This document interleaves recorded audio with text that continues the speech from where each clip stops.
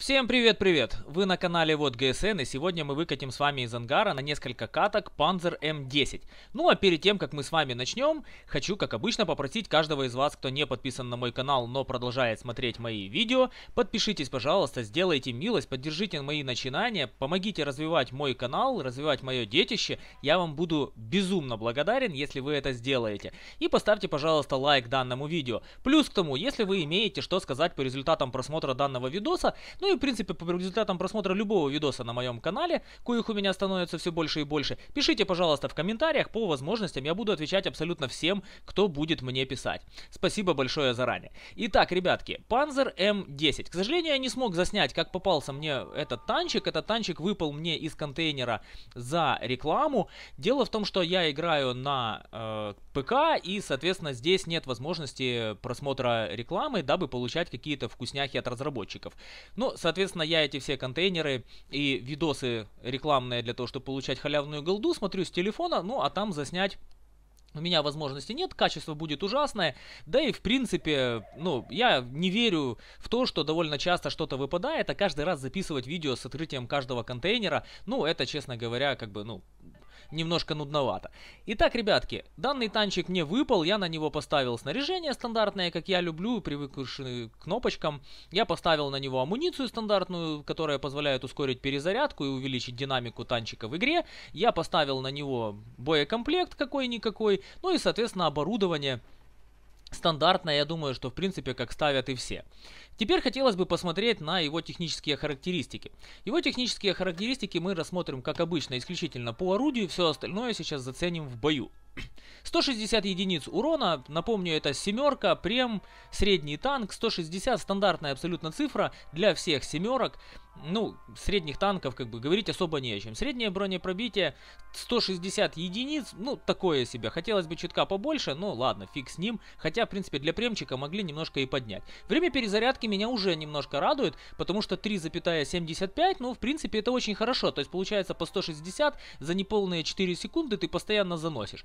Это крайне приятная циферка. Урон в минуту 2500. Это офигенная цифра для среднего танка на седьмом уровне, по моему скромному мнению.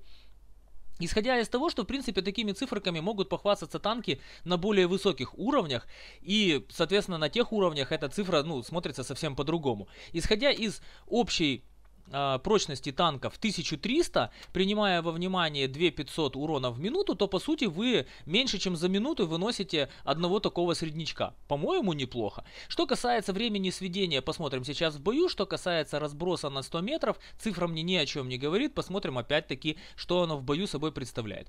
Углы вертикальной наводки. Меня, в принципе, радует 200, ну, 20 вверх. Это очень классно, это нормально. А вот вниз 8, ну, честно говоря, маловато. Потому что, как правило, правило, 8 стоит на каких-нибудь тяжиках, на которых пушечка вниз особо не, не, ну, как бы не опускается. Но опять-таки будем сейчас смотреть это все по факту в бою.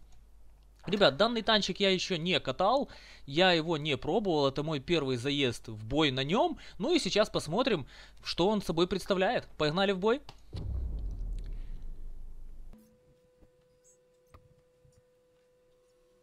Итак, ребятки, вот мы наконец-то закатываемся в бой. Балансирончику понадобилось 40 секунд для того, чтобы нас засунуть хоть куда-нибудь. Я так понимаю, что ну, в предчувствии, что это очень имбовый танк, и очень тяжело к нему подобрать противников достойных.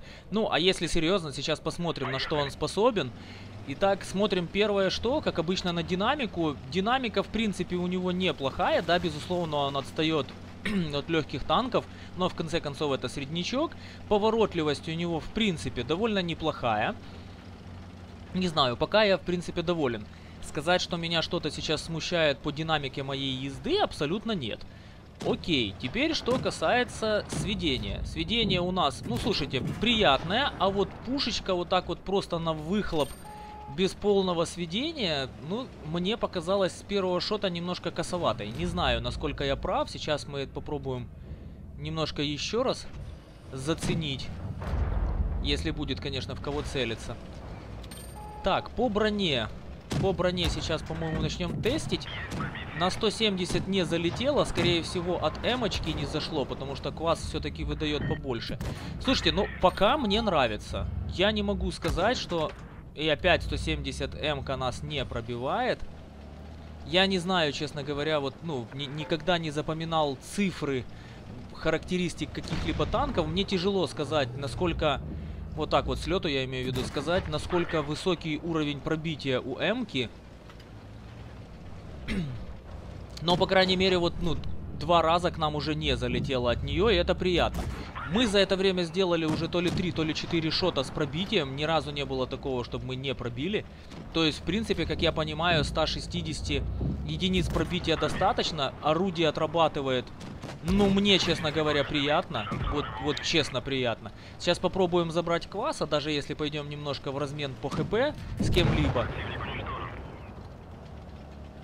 Да, гонять, конечно, ЛТшек не сильно приятно, но слушайте, ну мне нравится. Вот, вот скажу так, честно говоря, как для халявы, ну супер. Ну, ну, ну вот реально, не к чему прицепиться абсолютно. Два фрага, пускай какие-то недобитки, но мы, ребят, мы успеваем их делать. То есть, о чем я говорю? Я говорю о том, что да, может мы и не с нуля полностью всех сейчас разбирали, но мы, ребята, успеваем перезарядиться и догнать. Ну, слушайте, мне нравится. А что нам скажут результаты боя по фарму? По фарму, по фарму, по фарму. Давай быстрее, самому интересно стало. Давай, давай, давай, давай, давай, давай, быстрее.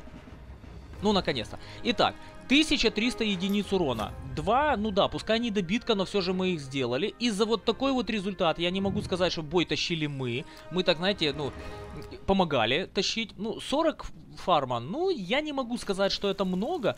Но, ребят, и наш результат третье место. Не знаю, я так понимаю, что, скорее всего, я еще раз говорю, коэффициент фарма и подобные характеристики танка я не смотрел нигде, не заходил ни на ресурсы, никуда. Кому интересно, кто знает и хочет поделиться этой информацией, напишите в комментах э, коэффициент фарма по данному танчику. Э, и вот в отношении М-ки, если знаете, какой уровень пробития, тоже добавьте, буду вам очень благодарен. Ну а другие ребята почитают и для себя поймут, насколько уровень бронирования у данного танка хороший или не хорош. Мне, честно говоря, зашло. Ну, мне понравилось, вот серьезно. Давайте еще разок попробуем.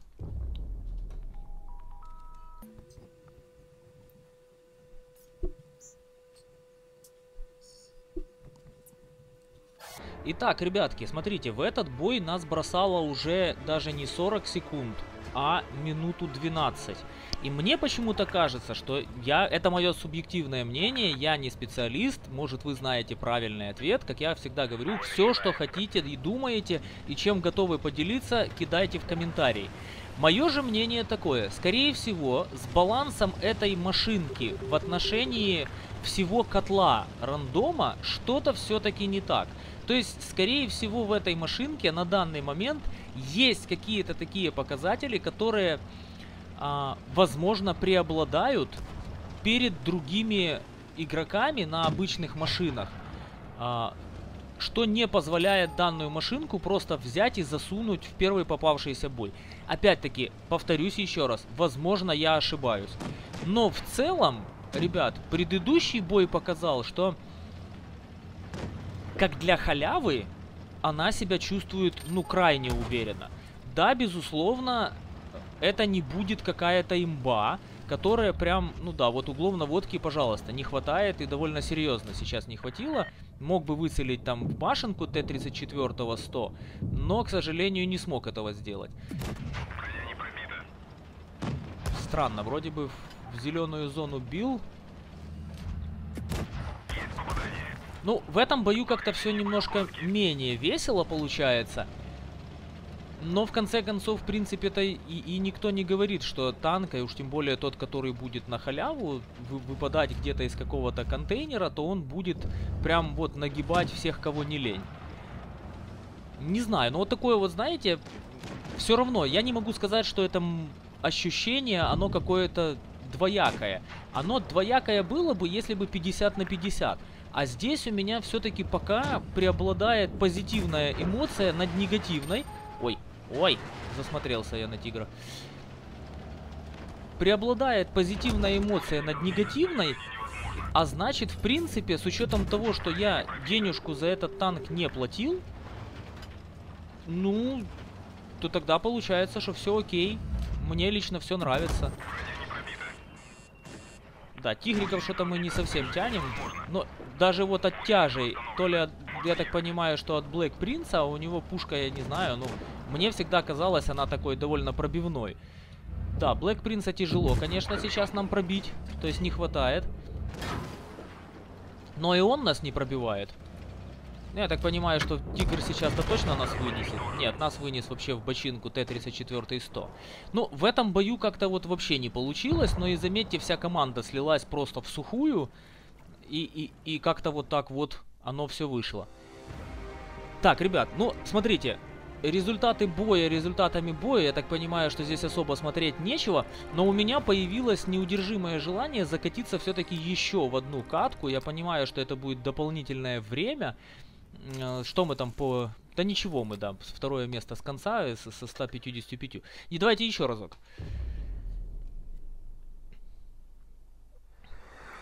Ну и вот только я говорил по поводу того, что какая-то странность происходит с распределением в бою, как нас просто с лету за одну секунду забросило в бой, еще и в топ.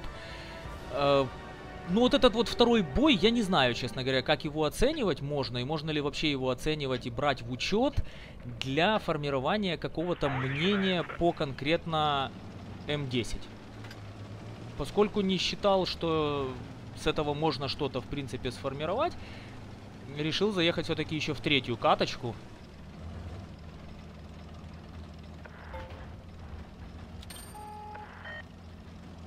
Так, нас уже кто-то светанул, не знаю кто.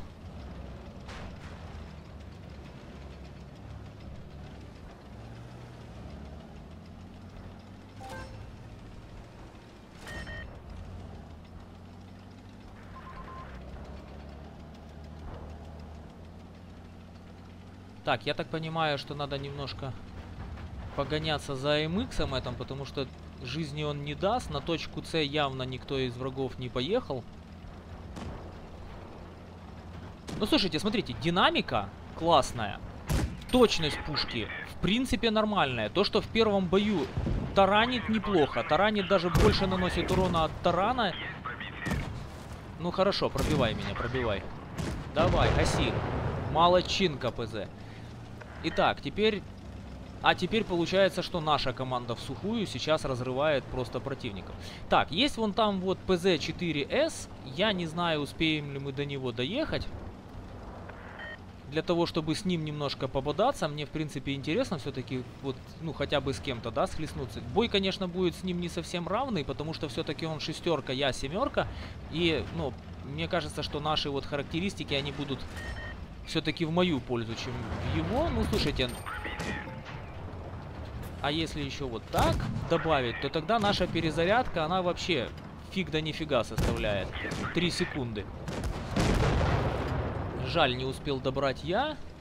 Ну, как я себе понимаю, то, в принципе, челленджера там разберут уже и без нас. Не знаю, может получится хотя бы прицелиться в него, чтобы посмотреть, что там получится. Ну да, углов на все-таки немножечко не хватает. Но теперь мы 7-0 сыграли. Ну, ладно, я думаю, что по трем боям мы сейчас, в принципе, сможем как-нибудь сформулировать свое мнение по данному танчику. Сейчас глянем результаты. Мы нанесли 1136 урона, никого не завалили. Что мы там получили за такую офигительную победу по серебру? Мы получили 34, ну будем считать 35 тысяч серебра. И в нашей команде по урону мы заняли четвертое в этот раз место, а не третье. Ну я имею в виду в тех, которые были с победами. Итак, давайте будем формулировать краткое мнение по данному танку. Пушечка, пушечка точная, очень скорострельная. Броня, если танковать ромбом, то в принципе тяжики не пробивали. Не пробивал Black Prince, не пробивал Тигр я считаю, что это в принципе показатель для танчика неплохой. С морды, если стоять прямо, я так понимаю, что прошивают, хотя есть явно красные места, особенно я так понимаю, что вот эта маска орудия. Играть где-то от препятствий, да, потому что можно закрывать тушу и оставлять только башню, но я так понимаю, что будут, мне кажется, выцеливать вот эти вот места, они явно должны быть плюс-минус мягенькие у него. Нету никаких комбашенок, это уже хорошо, сама башня плоская, тоже великолепно. Отыгрывать где-то от холмов нифига не выйдет, потому что углов в наводке вниз их вообще не хватает, вот просто от слова совсем. Дальше, поворотливость движения, я бы сказал, что вот где-то на восьмерочку из 10, может даже на 8,5. Мне, честно говоря, хватало. Не могу сказать, что он какой-то медлительный и неповоротливый. Ну, и теперь мнение в целом. Один бой не показательный, потому что мы там всех разорвали 7-0. Команда, я имею в виду, хорошо справилась. Второй бой не, точнее не так. Третий бой не показателен, потому что мы разорвали всех 7-0. Второй бой тоже не показательный, потому что разобрали 7-0 нашу уже команду. И первый бой, я считаю, что это вот как раз тот бой, которым танк показал себя, ну вот максимально честно и максимально открыто. Поэтому мое мнение следующее. Если этот танчик будет продаваться, допустим, ну я понимаю, что абсурдно звучит, но где-то тысячи за эдак две с половиной три голды, то можно, в принципе, его взять. Потому что за две никакущих, я имею в виду по нашей результативности, хотя можно было явно на нем отыграть получше, я к этому танчику абсолютно не привык, как я уже говорил, это первые катки, то, в принципе, этот танчик за 2,5-3 в коллекцию или чтобы фармить и периодически катать и быстро настреливать, ну, довольно-таки неплохой, но не более трех кусков голды. Ну, а что же касается получить этот танчик из контейнера, ну, халява, она и есть халява, поэтому дай бог, чтобы этот танчик выпал и вам. Я надеюсь, мой обзорчик был вам интересен, был вам полезен. Ставьте лайки, подпишитесь, пожалуйста, на канал, буду вам очень благодарен. Возвращайтесь ко мне, смотрите мои видео, всех благ, всего хорошего, получайте удовольствие, ну и, как обычно, мира вам.